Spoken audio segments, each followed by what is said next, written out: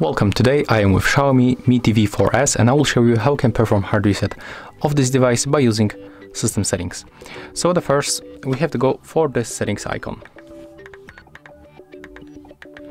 Next, we have to scroll to the device preferences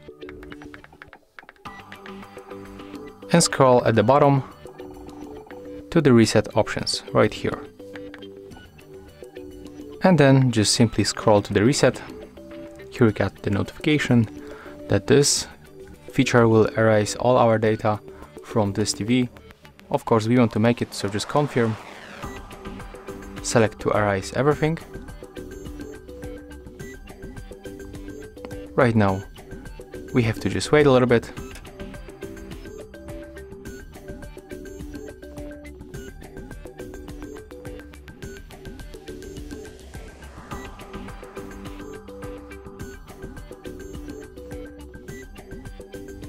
Okay, and as you can see, after a few moments, the reset is complete and right now you can start with the first setup of your device.